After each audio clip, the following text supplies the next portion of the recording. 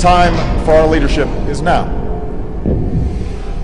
It was the United States and the United Kingdom and our democratic allies that shaped a world in which new nations could emerge and individuals could thrive.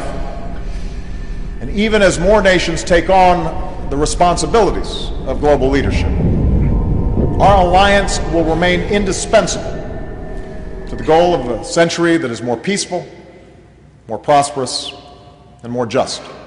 The nature of our leadership will need to change with the times.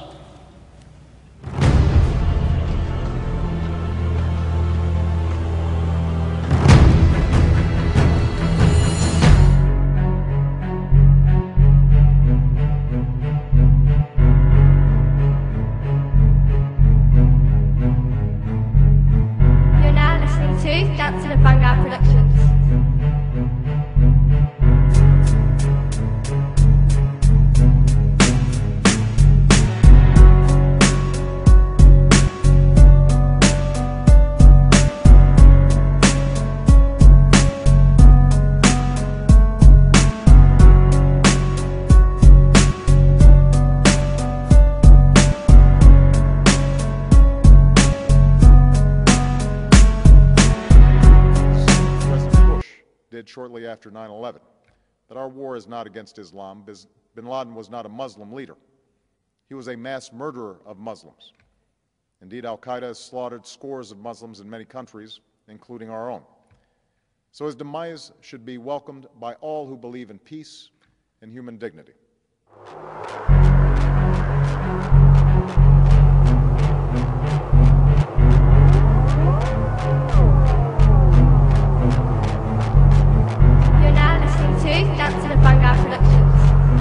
Receive this honor with deep gratitude and great humility. It's an award that speaks to our highest aspirations. That for all the cruelty and hardship of our world, we are not mere prisoners of fate. And yet, I would be remiss if I did not acknowledge the considerable controversy that your generous decision has generated. In part, this is because I am at the beginning and not the end of my labors on the world stage. Compared to some of the giants of history who have received this prize, Schweitzer and King, Marshall, and Mandela, my accomplishments are slight. You- You just said some, you used the, the phrase a Muslim president. And Right. there are a lot of our viewers out there who probably uh, uh, s- jumped up straight up on their chairs and said, What did he say? Yes. And, Now- and, and why do you say that? and I will give you the reason. Um, my wife Rachel is Jewish and I'm Jewish, but I'm from America. She's from Egypt. I think like a Christian. She think, thinks like a Muslim. My wife is an intelligence gatherer for the Israeli government in Kol Israel radio services. And she was picking up broadcasts for years before the 2008 elections. And the Saudis were saying, and my wife didn't understand it until later we will have a Muslim in the White House in 2008. And the fact is, nobody knew who Obama was before 2008. That's true. And he became a senator, I believe, in 2006. He barely served a very short time as senator, and all of a sudden he becomes the President of the United States. President to the United States faithfully. That I will execute The off- faithfully the president, office of President of the, the United of President of the States. United States. In my country, Assalamu alaikum. Candidate for president, but as a citizen. A proud citizen of the United States and a fellow citizen of the world. But the burdens of global citizenship continue to bind us together. A change of leadership in Washington will not lift this burden. In this new century, Americans and Europeans alike will be required to do more, not less.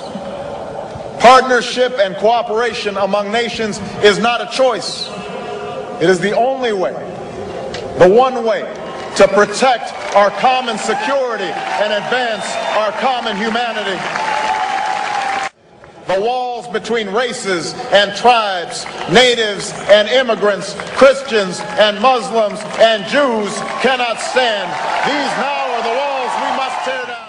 President Obama has committed 30,000 more troops to Afghanistan, but has also announced a withdrawal could begin as early as the middle of uh, 2011. Some in the U.S. are skeptical Obama's new strategy will work. Artisan Anastasia Churkina reports.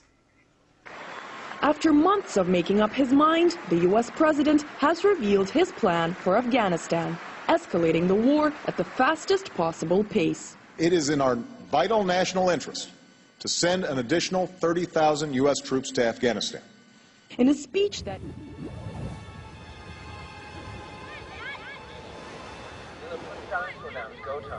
Miller, stop playing around.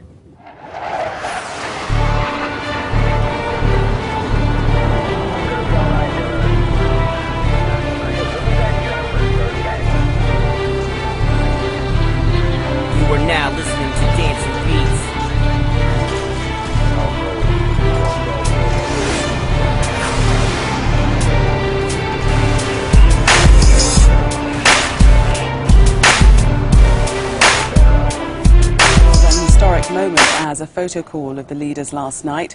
President Obama shook hands with Libya's Colonel Gaddafi.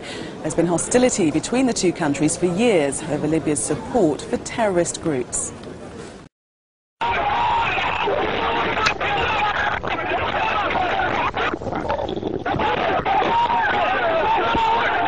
Today, the government of Libya announced the death of Muammar Gaddafi. This marks the end of a long and painful chapter for the people of Libya, who now have the opportunity to determine their own destiny in a new and democratic Libya. We stand at the precipice. The entire world is rushing towards World War III by any measurement or definition. The private offshore banks that dominate Europe and the United States are invading countries all over the Middle East, North Africa, and trying to start a war as well with Pakistan. This is all happening as the world economy is imploded and as the private central banks openly announce a private corporate bank of the world that are. Everything you do know about, very little, but what we do know about him has been anti everything we stand for. And he's in the White House. So why are we surprised? Why are we surprised? So uh, now, now you turn and realize that for the first time, now see people, when I travel, people, you know, uh, uh, uh, there's two questions when we have an open Q&A. Typically, there's two questions we can always ask. Where's American prophecy? Anybody study eschatology recognize that all the major players are clearly identified. America is conspicuous in its absence of mention. So that's a valid area of discussion. Then the second question we often get to the spiritually mature audience to say, why hasn't God judged America? Billy Graham quipped several decades ago very cleverly. He says, if God doesn't judge America, he'll have to apologize to Sodom and Gomorrah. You know, Thomas Jefferson said the same thing back in uh, 1781. He says, I tremble for my country when I recall that God is just and that his justice will not sleep forever. So, that, so the point is, why are we surprised? Now, there's, if you're going to start talking about the judgment of God, you quickly discover there's at least four or five kinds of judgment. There's calamitous judgment like Noah and all of that. There's eschatological judgment like Revelation 6 and following and so on. One of his judgments could be called his abandonment judgment. Imagine yourself as Samson on that third visit to Delilah, and when you wake up, you discover that your strength is gone. In a few seconds, you realize that God has abandoned you. Can you imagine how Samson felt as he realized the significance of not being able to break loose like he had before and so forth? The abandonment judgment. That's exactly what Hosea was called to present to the northern kingdom. And God says to him, Leave Ephraim alone. He's joined himself to idols. That summarizes the whole indictment of God against the northern kingdom, his abandonment judgment.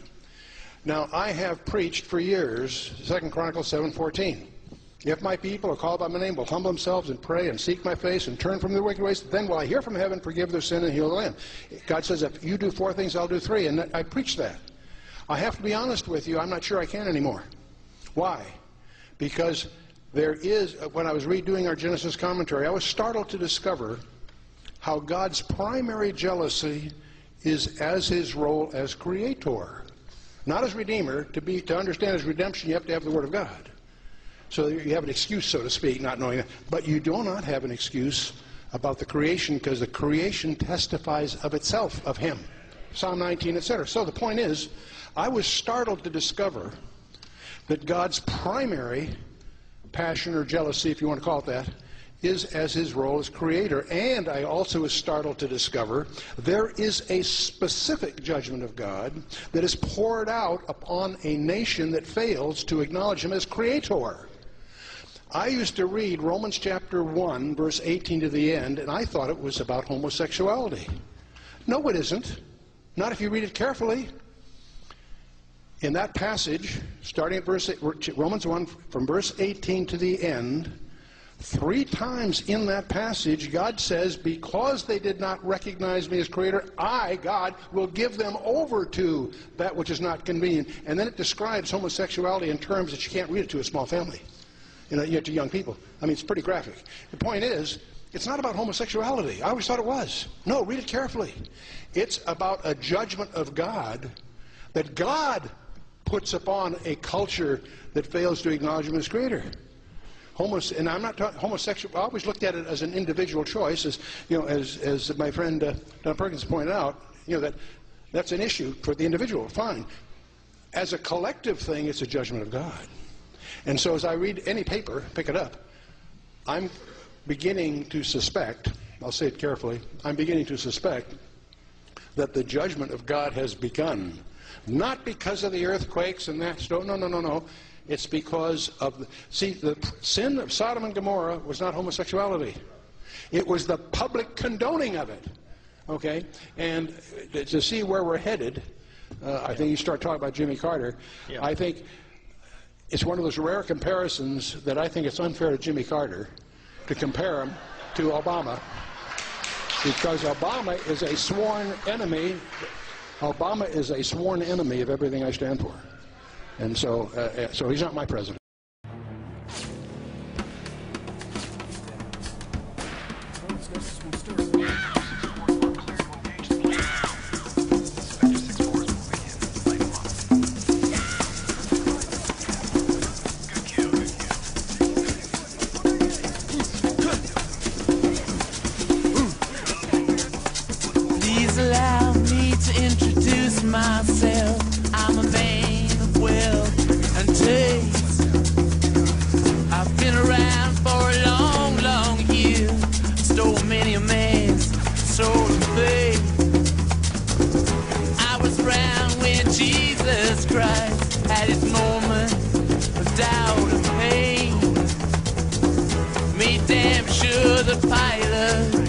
Washed his hands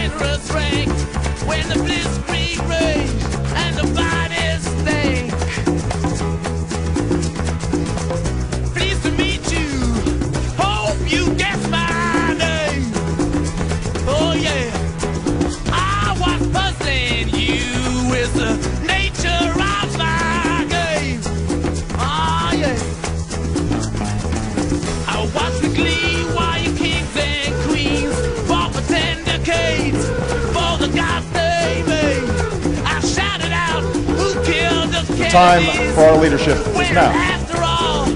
It was the United States and the United Kingdom and our democratic allies that shaped a world in which new nations could emerge and individuals could thrive. Even as more nations take on the responsibilities of global leadership, our alliance will remain indispensable